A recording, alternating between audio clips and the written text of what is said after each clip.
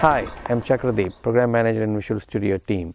In this session, you will learn how to use the App for SharePoint project template in Visual Studio 2013 to build an app using MVC as your remote web application project, write some sample code to interact with a document library in SharePoint, and publish the app to Windows Azure using the new Publish Manager.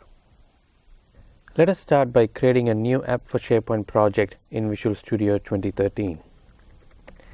In the project creation wizard, you start by specifying the SharePoint developer site for your app development. Let us quickly go through the available hosting models. Provider hosted model allows you to choose your own web stack and host your app outside the SharePoint farm. In an auto hosted model, your app gets provisioned for you and deployed for you automatically in Windows Azure. If you simply want to host your app in SharePoint, then you can choose SharePoint hosted as your hosting model. For this demo, let's go with the default option, which is provider hosted and click next to continue. As we chose provider hosted as our hosting model, we will we will also need to specify a remote web application that will be deployed along with the app. This remote web application represents the remote components that are hosted on another server. Prior to Visual Studio 2013, you were able to create apps for SharePoint using ASP.NET Web Forms application. Now in Visual Studio 2013, you can choose between Web Forms and MVC. For this demo, let us select MVC Web Application as our remote web application project and click Next to continue. Before your app can call SharePoint and interact with the SharePoint resources such as document libraries and lists, your app needs to authenticate to SharePoint. If you are building a cloud app such as provider hosted app where remote components are hosted on another server, OAuth is used as the authentication and authorization flow for the app. In general, access tokens are issued by an OAuth security token service. An example of such security token service is the Windows Azure Access Control Service. If you are building SharePoint on-premises app using high-trust, you can choose to authenticate your app using a certificate. For this demo, we will use Windows Azure Access Control Service as our authentication mechanism to authenticate our app with SharePoint. When you click Finish, your app for SharePoint is created and you get two projects. The App for SharePoint project and the MVC project.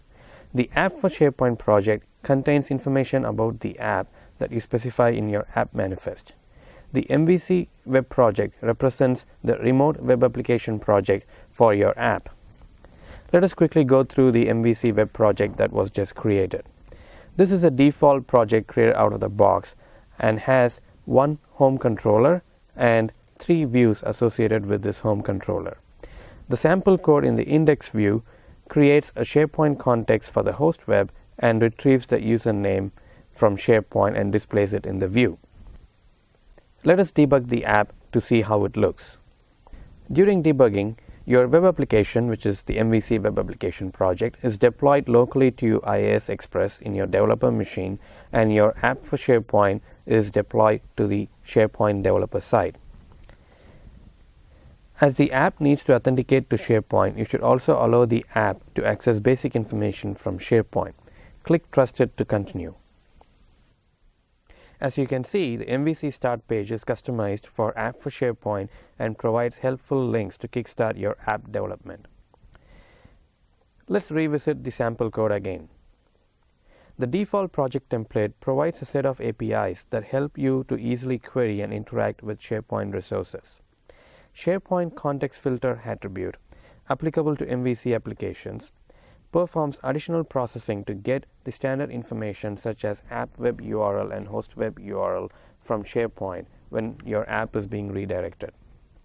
It also determines whether the app needs to be redirected to SharePoint for the user to sign in.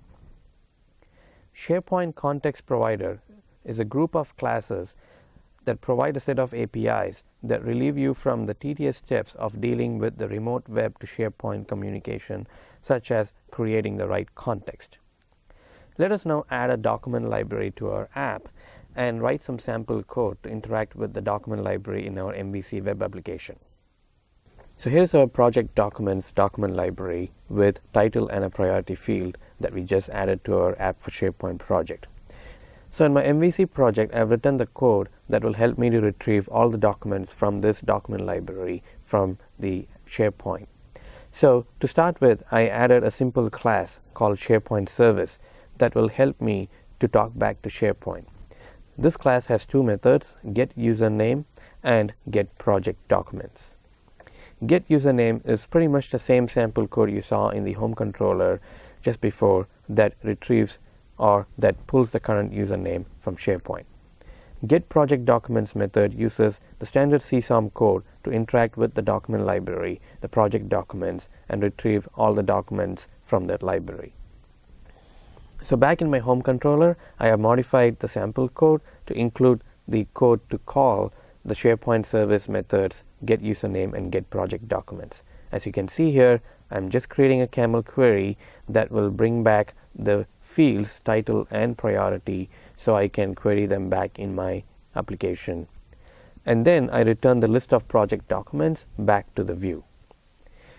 Going to the view, which is the index view, which is the default view for this MVC application, I have modified the code to render the list of documents as a table.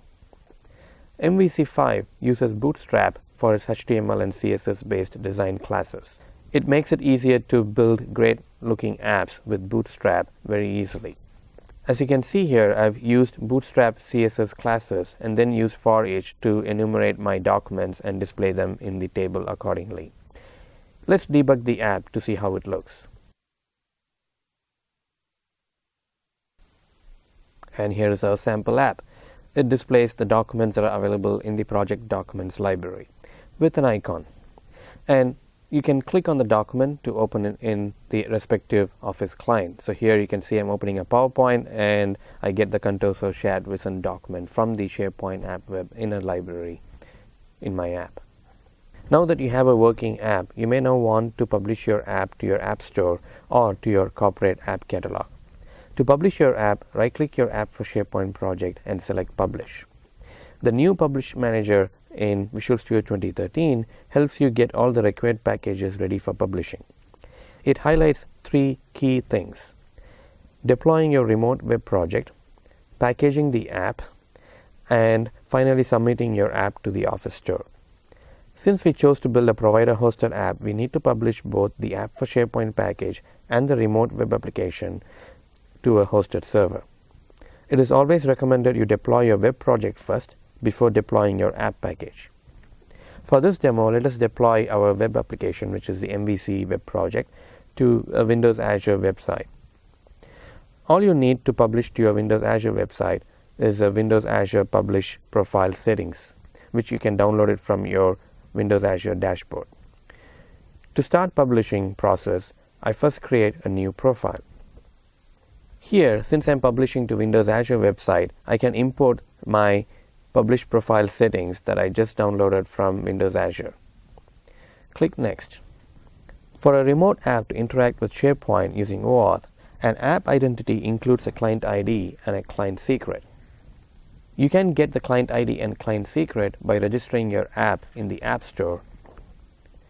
You can click the Help topic in the wizard for more information on obtaining the client ID and the client secret.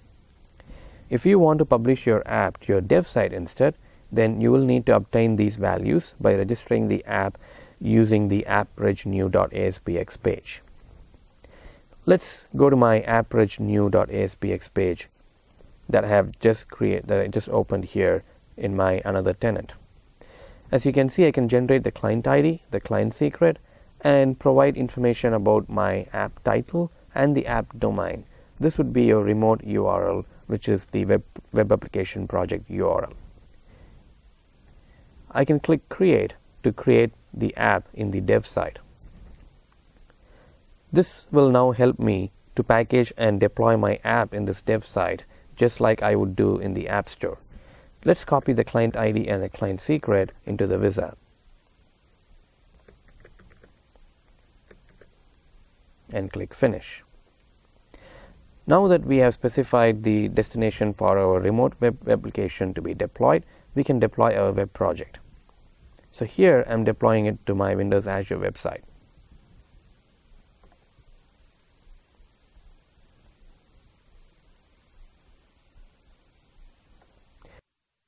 Now that we have deployed our remote web application to Windows Azure website successfully, the next step is to package the app.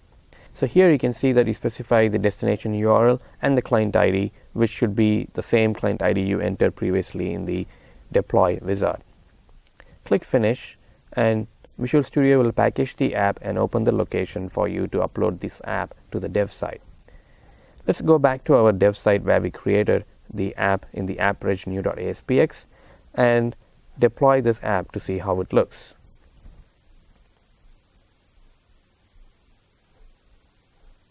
So I can select new app to deploy, upload the app package that we just created,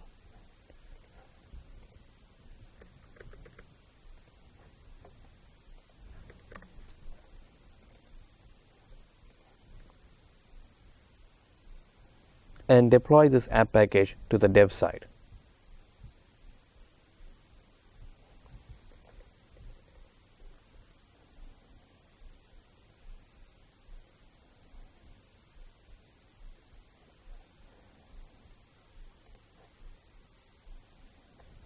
So now that our app has been deployed, I can click on the app to go to my Windows Azure website and that will load the documents from the document library we just deployed to our app.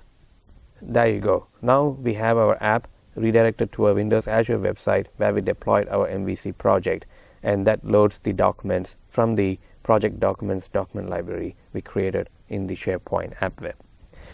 To summarize, SharePoint development in Visual Studio 2013 makes it easy to build cloud apps for SharePoint by allowing you to choose your choice of web application. You can easily interact with SharePoint resources using the new SharePoint context wrapper methods and also customize it to your app requirements. You can also now easily publish the app as well as the remote web application to SharePoint and your desired hosting service respectively using the new Publish Manager.